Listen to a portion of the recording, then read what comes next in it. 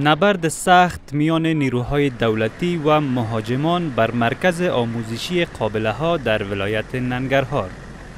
مهاجمان انتحاری که تاکنون شمار دقیقشان روشن نیست پیش از چاشت روز شنبه خودشان را بر ساختمان این مرکز رسانیدند و نبرد را با نیروهای دولتی آغاز کردند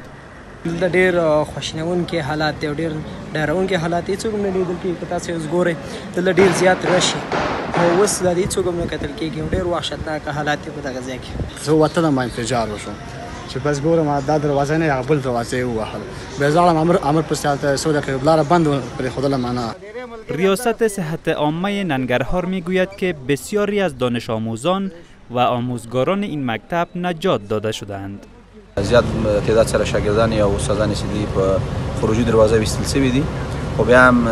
زیاتره ټلیفونونه چې دي هغه کار نه کوي او د موږ د ټول شاګردانو سره تر اوسه پورې ارتباطات نه دي قایم شوي